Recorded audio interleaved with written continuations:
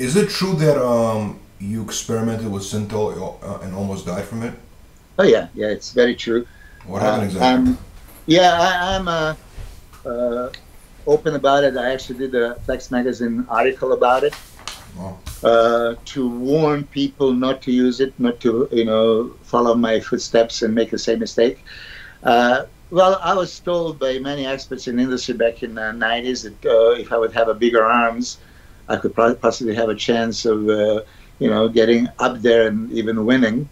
hmm So of course, uh, uh, some of the pros at the time were using it, so I, I got tempted, and uh, that's one of those things that um monkey see, monkey do. Instead of really researching, because there was not really research papers, you can see what Synthol actually was. hmm So how most of the bodybuilders are, um, and um, I would be the, the guilty. I, I was doing the same. Uh, musclehead.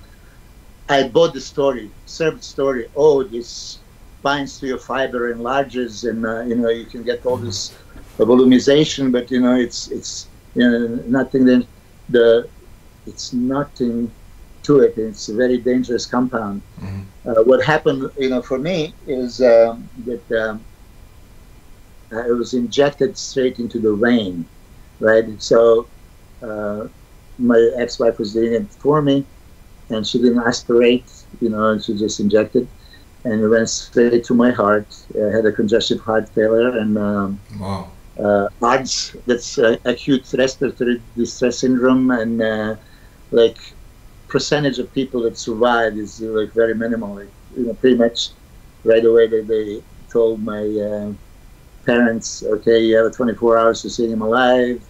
You know, they ask uh, my ex if I'm a organ donor, and say, hell no, I wouldn't uh, donate uh, any of my organs. But yeah, there was uh, definitely um, issue with. So that's from, from a single use that happened. From a single. no, no, no. I used I used the Oh, used. for a prolonged period of time. I, I used it uh, '98. This is when I started, and '99. And did you see the Uh, did you see the improvement when you started using it? Oh yeah, you know, well, I tell you this. I hated the look. You know, it started changing a shape and anatomy, and it looks stupid. I, I'm not embarrassed to say it. Whoever uh, uh, makes the jokes about me, yes, it looked ridiculous, stupid, unnatural. Uh, I got my arms to be 22 and a half inches, right? Mhm. And, and they look like a, my biceps look like a bricks, uh, completely. You know, you can you can see it from the airplane. I mean, uh, and uh, that is the single reason why I uh, wouldn't compete uh, after after I retired, because my arms uh, are affected. You know, it created uh, fibrotic tissue and necrotic tissue, and it just uh, never the same. The shape is not there. Quality. I mean, uh, you can hardly even feel a muscle contraction. So I was possibly lucky, you know, that I actually got away being uh, uh, alive to this point. Mhm. You know, th- this is what uh, many bodybuilders are doing. Uh, just like uh, jumping from a high-rise building, it feels great when you're falling down. You feel all this air; it's beautiful until you hit the ground, and then it's too late. You know, so for Synthol users, you know, ask yourself, why on earth would you use it? Yes, learn from my mistake. I was um, um, encouraged to have a bigger arms. Just that one little flaw, and you, you can be a top contender. You know, so I chose to do it at the time, not knowing nothing about it. I just okay, yes, sir. You know, uh, I remember talking to Chris Clark, the inventor, and he gave me all the story of how great this is. I said, okay, well, why not? You know, let me try it. Especially as I knew some of the guys on the stage were using it. You know, so and you can you can tell. You know, so it's absolutely uh, my biggest regret of my life, and uh, it's something I'm embarrassed but open to talk about it. Do you think it, do you think it's widely used today amongst bodybuilders? Yes, yes. Still, unfortunately, I, I have many times when I talk to the clients, and, and, you know, they ask me for site uh, enhancement, and, and thinking of Synthol or whatever else is now available. It's horrible. I mean, uh, it changes the shape. You lose the quality. Uh, But is it? But is there a way to use it properly? Like you said, it's all about proper use, right? Is there a way to use it properly? Just to, maybe, maybe, maybe you did it like too much. You know what I mean? Maybe like if you did it less, it would have been okay. you yeah, know? but yeah, you see, so that that's that uh, sell your soul to the devil. Okay, he's gonna come and, and claim it. Yeah, this is how I started. Okay, a little bit, and initially '98, you know, it's it wasn't really visible. Mhm. But then I got greedy, right? Mhm. Oh, if I did this, let me do a little bit more, a little bit.